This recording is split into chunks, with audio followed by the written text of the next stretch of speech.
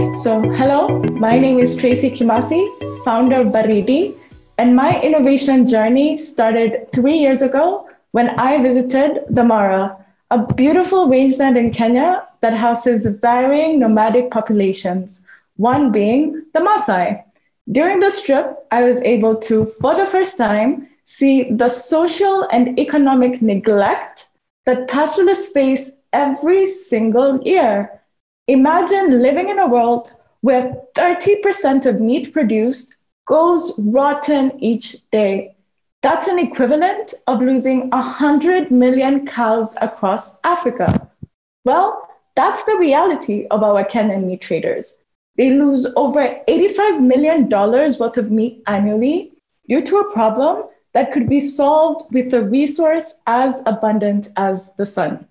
Our team develops and assembles solar powered cold rooms, cleverly combining renewable energy and thermal technology to prevent post slaughter meat loss.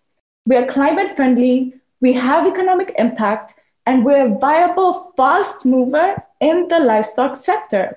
The solar chillers are targeted at urban commercial markets that trade over 2,500 carcasses a week and guarantee a yearly economic benefit of 5,000 US dollars for a vendor renting one meter cubed of cold space each day.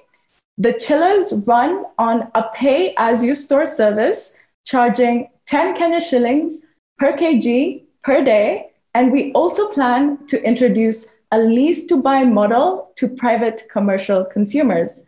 One Baridi unit has the potential to create a whopping 190 informal jobs, save up to 1,500 tons of CO2 emissions, and annually preserve over 280,000 kilograms a week. Now, great solutions require even greater teams to implement them. Our technical manager, Hillary, has designed over 30 renewable energy projects across sub Sahara, and our commercial manager, Alistair, has aided 40 businesses into the market. We're targeting to launch at least 70 units in countries that rely on livestock production. These are Kenya, Botswana, Rwanda, and Ethiopia. To date, we have received a three lease order, negotiated a 300,000 euro seed round, and have secured sufficient capital to install our first unit in Nairobi's largest beef market, Burma. But we want to do much, much more.